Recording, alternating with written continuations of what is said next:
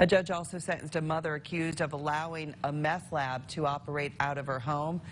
Tiffani Palmer will face two years of probation and 25 hours of community service for endangering the welfare of children. Yesterday, a judge sentenced her husband, Gary Palmer, to six months to a year in prison. Uh, Erie County Prison, followed by three years probation. Authorities say their sons were running a meth lab out of their home while their teenage daughter was living there. Both parents say they had nothing to do with the selling or distribution of drugs. Separate